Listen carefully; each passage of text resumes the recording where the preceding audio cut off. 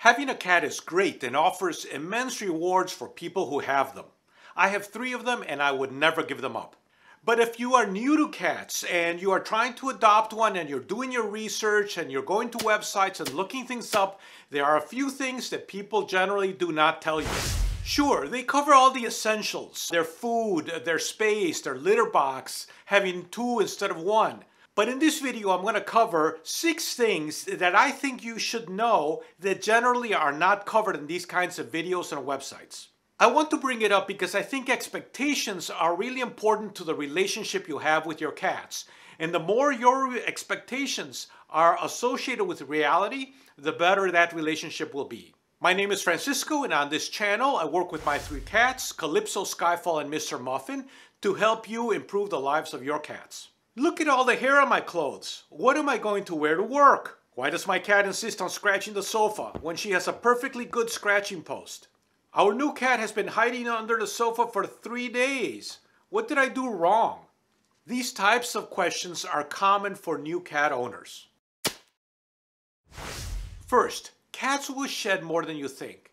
I know that sounds obvious, but it's not always clear exactly what that means.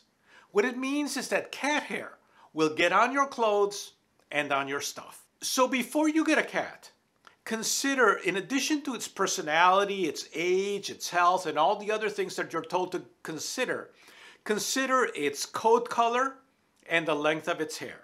If you like to wear black clothes or dark clothes, do not get a white cat with long hair. Second, get one of these tape things. It will be your best friend and you will use it constantly. Just know going in that hair will be an issue. So do not get upset when you see cat hair on your stuff. It's just what they do, especially in the spring and summer when they're shedding their winter coat. Oh, and I forgot to mention that cats love to sit on things. When, so when you've ironed something and just laid it out to wear for the evening, that's where they will sit. Yes, you can brush them, and you should brush them, but it will never be enough. Cat hair will always be a thing. Here's the second thing. When you prepare to get a cat, you're told to get a cat scratching post so that it won't scratch your furniture. But you are not told how to make that cat scratching post effective. Here, in my opinion, are the three key things to success. Number one, stability. Your post should not wobble.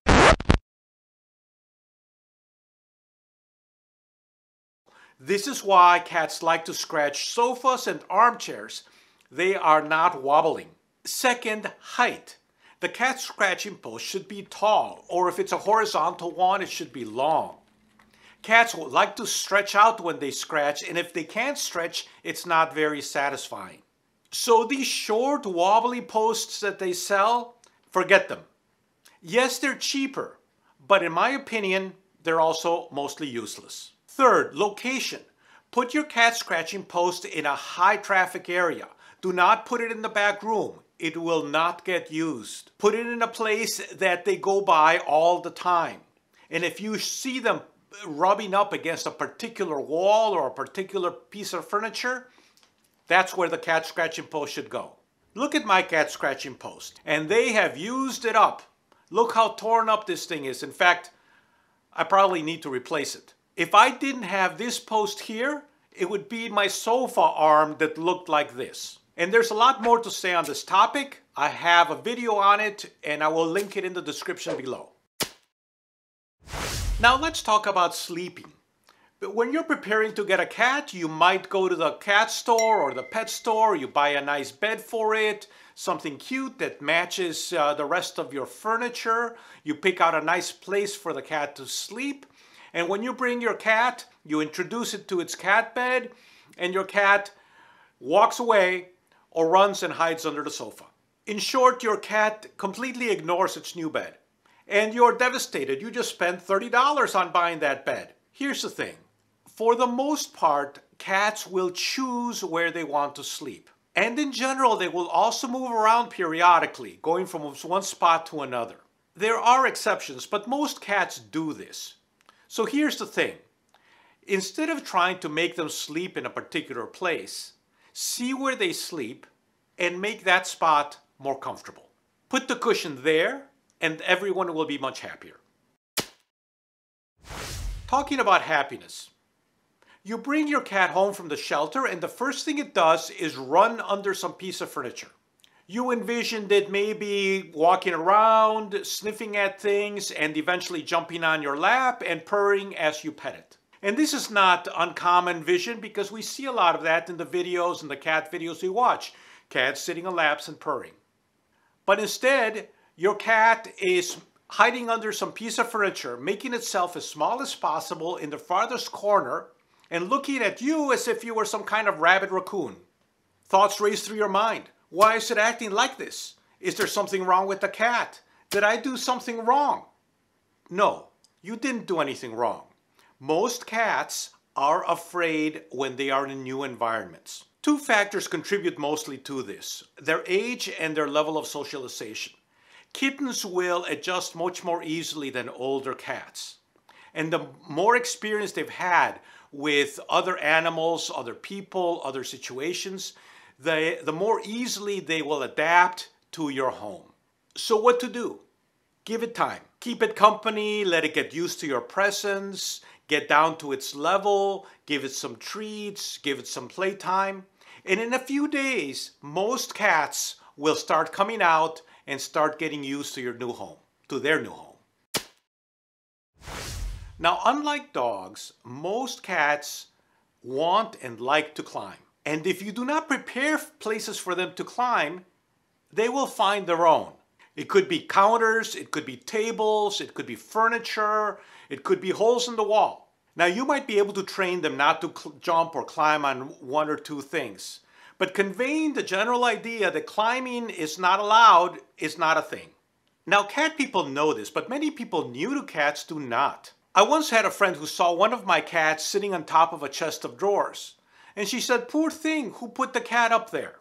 And I had to explain that the cat got up there all on its own and it could get down anytime it wanted. She just didn't realize that because she never had a cat. But I'm not making fun of people's lack of familiarity with cats. I've made many mistakes with dogs. My sister has two little dogs, and one time I went was visiting and she put one of them on my lap. After a while, it seemed to me like the dog wanted to get down, so I gave it a little nudge, expecting that it would jump off like a cat would. But it didn't. It just sort of flopped over and fell on the floor. I didn't know that it wouldn't jump, so no disrespect intended. But back to cats. It's best to give them something to climb and have, something that you can approve of that they can get on top of. Most people have some kind of cat tree or they have uh, window shelves or other shelves that they put on the walls. We cat people call this kind of thing catification. I have a few videos with ideas and I will link them in the description below. Here's something else that people new cats sometimes are not aware of, and that is night activity. If you've never had a cat, you might not be aware of that they will roam around and be active at night, and at least until they get used to the rhythm of your household. This is particularly true of single cats and kittens. They get bored. They'll want to run around. They will try to get into the bedrooms. They will cry out. They will play with your feet. They'll wake you up early in the morning if they get hungry. This is just something that will normally happen with most cats until they get used to your rhythms. So what to do? Well, you can start by playing with them a lot at night right before you go to bed. This will tire them out a little bit. But eventually, in my experience, they get used to your rhythm and they will settle down. I have three cats and they never bother me at night anymore. They did when they were younger, but now they know when it's time to go to sleep and they do that. Maybe they roam around, but if they do, they never do it loud enough to wake me up. Now, I'm not discouraging anyone from adopting a cat. I think everybody should have at least two cats. But as I've said, I think everyone, including your cats, will be a lot happier if you know these things that we cat people assume, but people new to cats have not been told. And to help you out, I will link my latest catification video right here. Thank you for watching. I appreciate your time. And if you like this video, please like and subscribe.